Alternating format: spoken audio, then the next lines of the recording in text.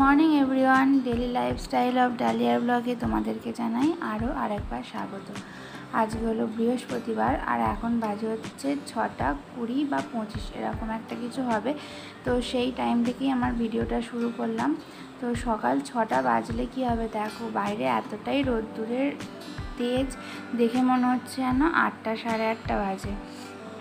তো সকালবেলা উঠেই ফার্স্টে আমি জামা কাপড় যা আগের দিনের পরেছিল সেগুলো সব কেচে নিয়েছি। ছটা নাগাদ টাইম কলে জল আসে, তো সেই জলে কাচাকুচি করে আগে ছাদে মেলতে চলে গেছি। তারপরে নিচে গিয়ে নিচে যা কাজ টাজ থাকবে সেগুলো করব।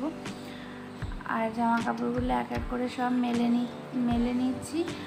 আর এইদিকে ওয়েদারটা সকালের দিকে ওয়েদারটা বেশ অন্যরকম থাকে, দেখতেও ভালো লাগে, তাই তোমাদেরকেও একটু দেখিয়ে দিলাম।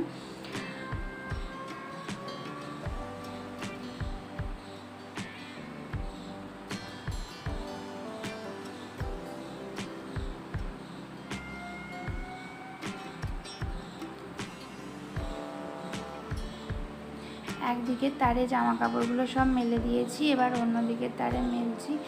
আর রোজের এক বালতি, দু বালতি করে কাঁচা তো এমনিই পড়ে।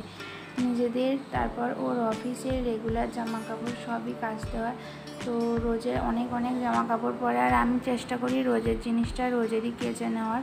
নাহলে কী হয় বলো তো, একেবারে যদি জমে, তাহলে অনেক জমে যাবে। তো ওই জন্য রোজগারের জামা কাপড় আমি রোজগারই কেচে নিই। তাতে আমার সুবিধেও হয় আর অল্প অল্প করে কাচলে অত বেশি কষ্টও হয় না।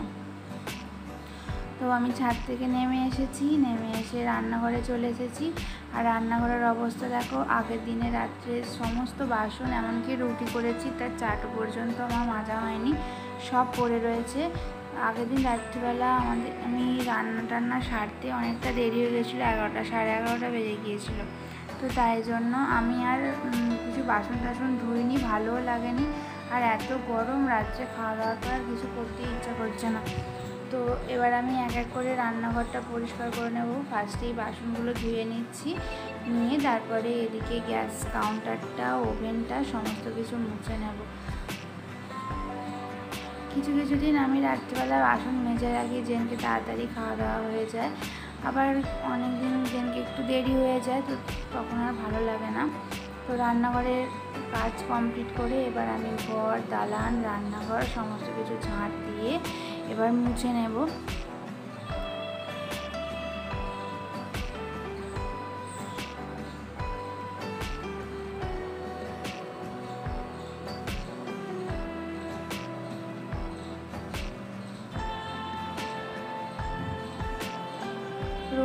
ঝাঁট দিই রোজের মুছি তাও দেখো কত ধুলো গিয়েছে আর রান্নাঘর পরিষ্কারই ঘর দোর পরিষ্কার করার পরে আমি চলে এসেছি হচ্ছে রান্নাঘরে।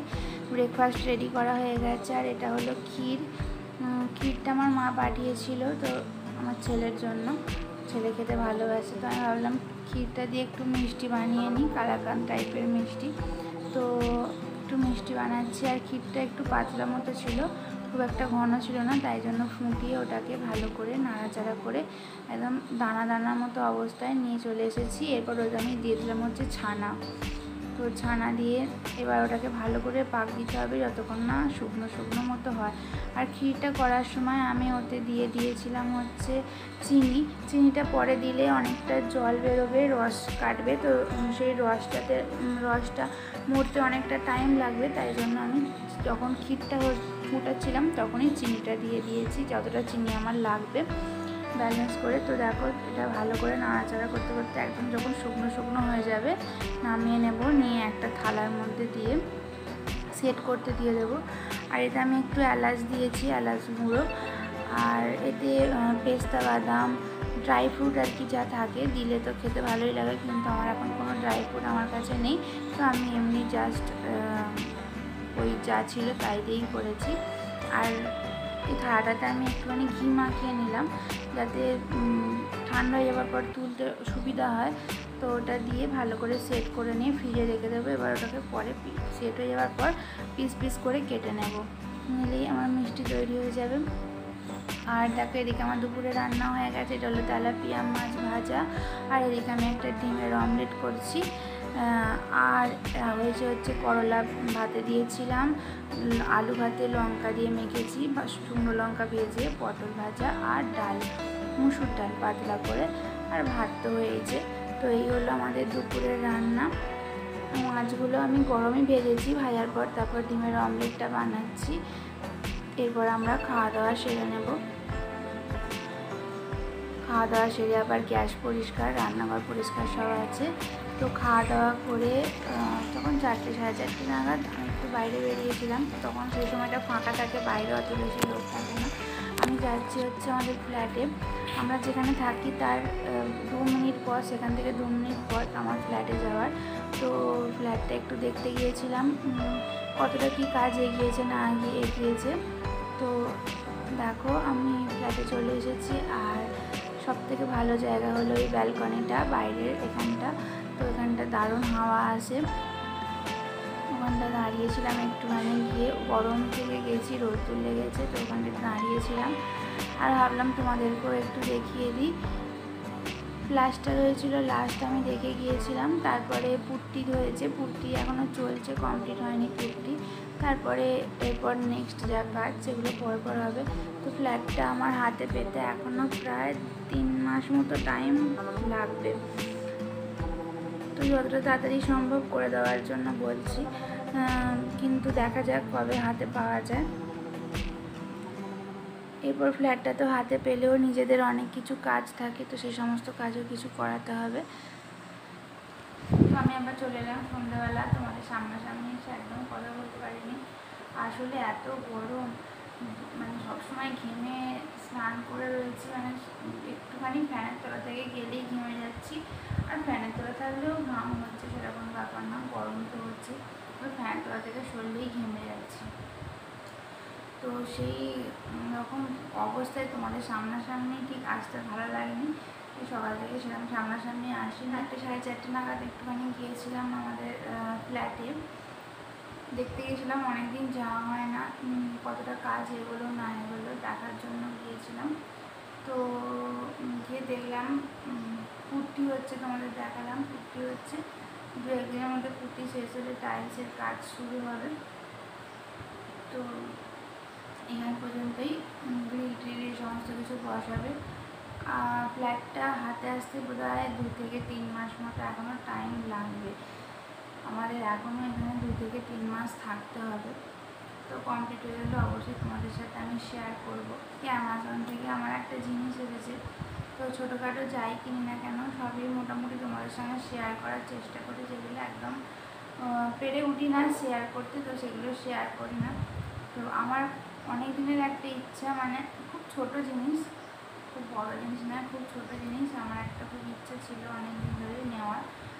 তো সেটা নিয়েছি, কিন্তু কী বলো তো আমার ওটা কালারটা ঠিক পছন্দ হয়নি। তো দেখাই তোমাদের আমি কী নিয়েছি।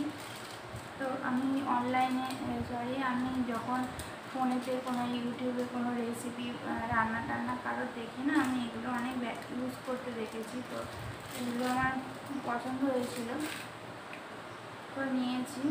এই যে এটা হলো স্প্যাচুলা আর একটা অয়েল ব্রাশ এটা কী বলতো? স্প্যাচুলাটার কালারটা না, আমি পিঙ্ক পিঙ্ক টাইপের যে একটা কালার রয়েছে, ওই কালারটা আমি চয়েস করেছিলাম, কিন্তু দিয়েছে হচ্ছে এই কালারটা কেন জানি না।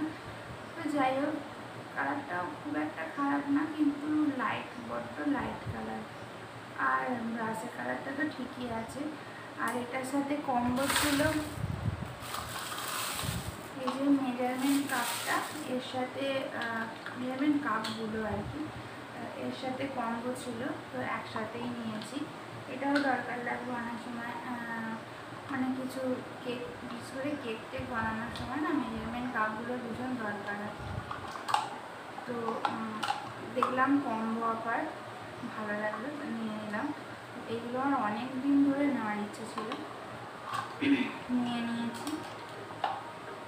আর কি বলব? সকাল থেকে তো ভিডিওটা শুরু করেছিলাম। ভিডিওটা মনে হয় অনেকটা বড় হয়ে গেছে। তো ভিডিওটা আমাকে এবার শেষ করে দিতে হবে। আর মাঝখানে অনেক দিন ভিডিও দিইনি। বললাম, এই গরমেতে ভিডিও করতে ইচ্ছা করছে না। তারপর এমন এমন টাইমে আমার ভিডিও করার টাইমটায় আমার ছেলের ক্লাস শুরু হয়ে যাচ্ছে ফোনটা ছেলের কাছে থাকছে। এটা খুব প্রবলেম হচ্ছে ফোনটা নিয়ে। তো একটা কিছু ব্যবস্থা করতে হবে। এক্ষুনি তো কোনো ব্যবস্থা করতে পারব না। তো আস্তে আস্তে ব্যবস্থা করতে হবে। তো দেখা যাক কী করি। আর ওই জন্য অনেকদিন ভিডিও দেওয়া হয়নি, প্রায় এক থেকে দেড় সপ্তাহ মতো ভিডিও দেওয়া হয়নি। আর, রাত্রিবেলা ভাবছি সেরকম কিছু রান্না করব না, আর ভাত করব তার সাথে আর একটা কিছু করে নেব, খাওয়া ব্যাস, একদম হালকা রান্না করে নেব। দুপুরেও দেখলে একদম হালকা রান্না করেছি, গরমে একদম ভালোই লাগছে মানে কী বলব, এখন গরমে অতিষ্ঠ হয়ে পড়ছি। তো চলো, তাহলে আজকে ভিডিওটা আমি এখানেই শেষ করে দিচ্ছি। আবার চলে আসব আমার একটা নেক্সট ভিডিও নিয়ে। ততক্ষণে তোমরা সবাই ঘরে থেকো, সাবধানে থেকো এবং সুস্থ থেকো। আর আমার ভিডিও তোমাদের কীরকম লাগল তোমরা অবশ্যই লাইক শেয়ার এবং কমেন্ট করো। আর আমার যারা আমার ভিডিও নতুন দেখছ, তারা অবশ্যই আমার ভিডিও পছন্দ হলে সাবস্ক্রাইব করে দিও। তো ভিডিওটা আমি এখানে শেষ